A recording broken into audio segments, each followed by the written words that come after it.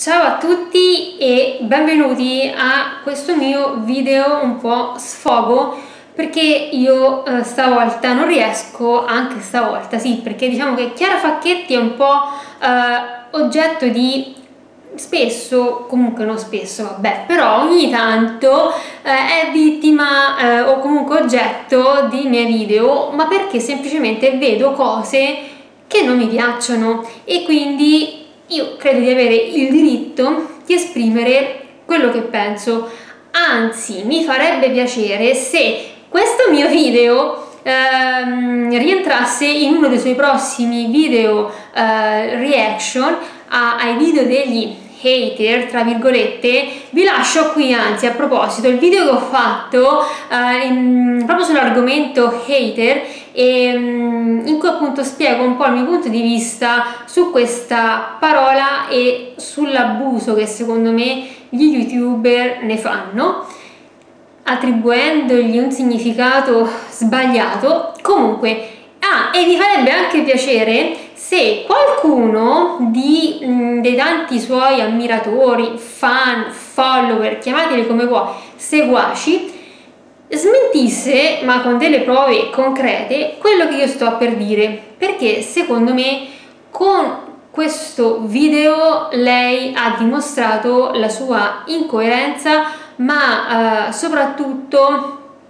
questa sua proprio eh, scarsa sensibilità e ipocrisia nei confronti del problema coronavirus. Um, in quanto in questo video incriminato, quello in cui già dall'anteprima no, mm, sembra annunciare una notizia tragica o comunque un problema, una notizia triste, uh, ma sappiamo tutti che le anteprime non corrispondono mai alla reale diciamo, portata poi del problema o comunque del contenuto del video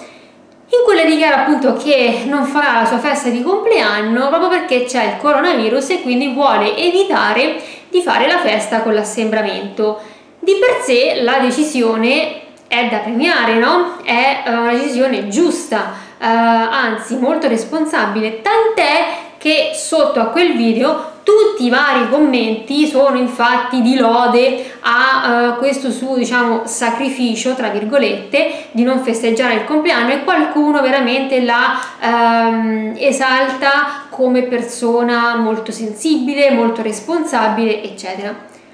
Ma io mi chiedo queste stesse persone no, che la seguono così assiduamente, che la ammirano così tanto, che non si perdono neanche un suo video, eh, cosa che invece io non faccio perché non è che sto sempre lì a guardare tutti i suoi video o comunque tutte le cose che fa,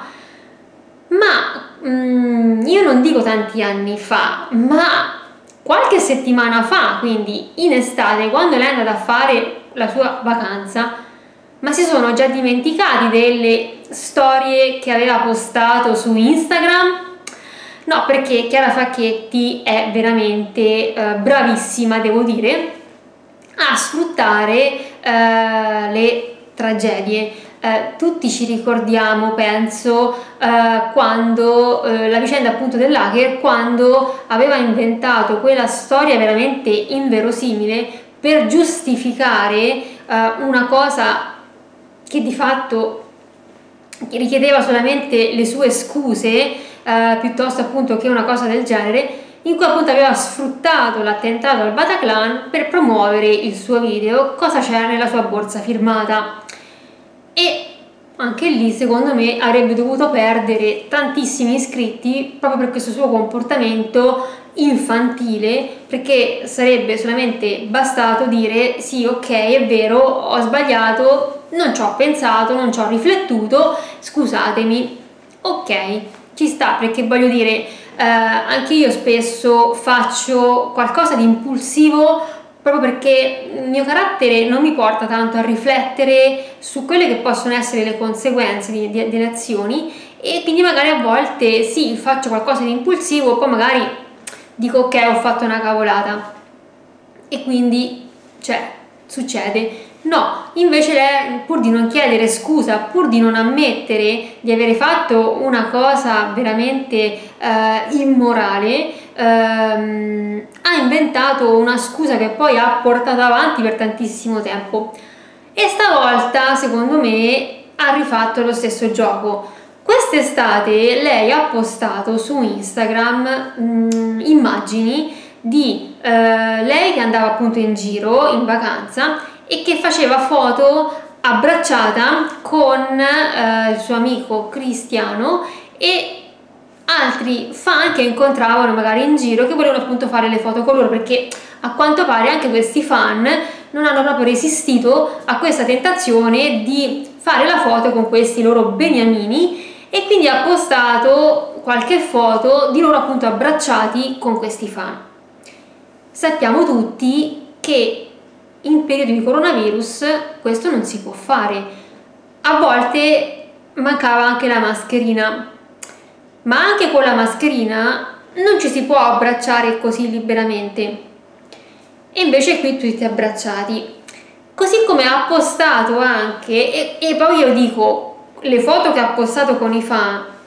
sono veramente, credo, una piccolissima parte di tutte quelle che avranno fatto con altre persone magari che non hanno Instagram o comunque che non si sono ripostate, ritaggate, non lo so, e quindi sicuramente di foto ne avranno fatte altre con altre persone nelle stesse condizioni. E eh, poi ha postato foto in cui era a tavola con tante persone, una tavola eh, molto lunga con tante persone, anche queste appunto taggate qua e là, eh, tutti appiccicati ovviamente, attaccati senza le mascherine anche questo non si può fare. Lo sappiamo benissimo che nei ristoranti o comunque per mangiare allo stesso tavolo possono stare solo i congiunti, gli amici, i conoscenti, chi non si conosce vuole cenare insieme deve stare in tavoli separati. Loro no, hanno postato questo. Così come ha postato altre immagini eh, abbracciata magari ad altre persone o comunque che stava mh, mm, partecipando comunque a degli eventi eh, sia all'aperto ma eh, pieni di persone, anche lì tanto vicine.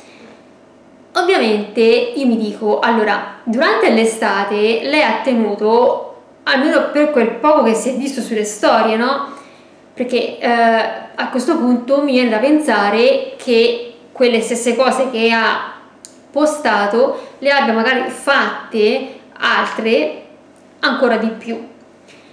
Quindi quest'estate ha tenuto un comportamento veramente eh, contrario a qualunque prescrizione anti-covid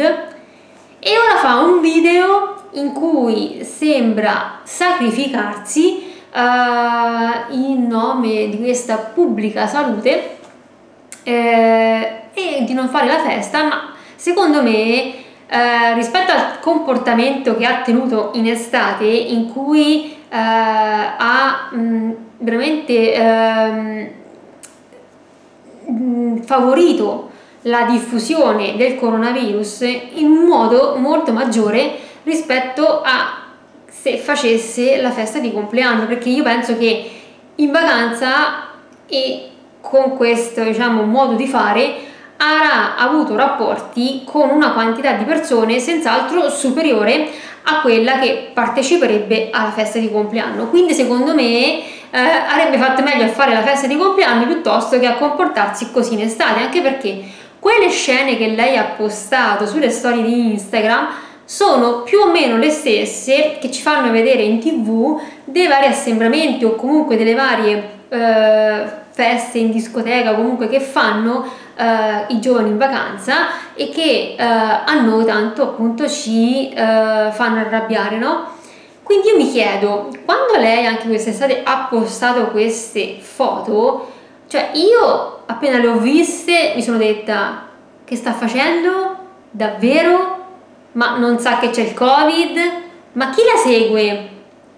Non ha pensato nulla, cioè non ha pensato ma che sta facendo e non, ha, non le ha scritto messaggi di rimprovero. Io penso che, allora, questo suo video lei lo abbia fatto un po' perché avrà ricevuto secondo me tanti insulti sotto a quei post, perché è impossibile che chiunque l'abbia visti non si sia indignato di quel comportamento, perché era un comportamento veramente sbagliato e quindi abbia voluto fare un video di questo tipo per non rimetterci la faccia, ma poi siamo veramente sicuri che non farà questa festa di compleanno, cioè a me sinceramente non interessa, però conoscendo un po', vedendo un po' come si comporta il tipo, secondo me lei la festa di compleanno la farà che poi non ce la fa vedere, non ve, anzi non ve la fa vedere perché a me se farà un video sulla festa di compleanno non lo guarderò, non me la farà vedere e quindi voi sarete sicuri che non l'abbia fatta e fine. Anche perché a me un'altra cosa che veramente sa molto di finto nei suoi video è quando vuole fare la seria e vuole parlare di un qualcosa di eh, magari serio, appunto di un problema o anche eh, parlare di un qualcosa di bello. E quindi magari c'è anche il momento in cui si commuove, tra virgolette, e la cosa che io ho notato è che eh, quando parla di queste cose, sia belle che brutte, usa sempre lo stesso tono di voce, ha sempre lo stesso modo di parlare di quell'argomento. Ehm, e anche lo stesso modo di commuoversi.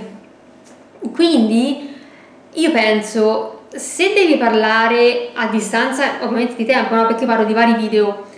eh, in diverse appunto situazioni, in diverse circostanze, di un qualcosa eh, di brutto o di bello, non può essere che tu ti trovi sempre nello stesso stato d'animo,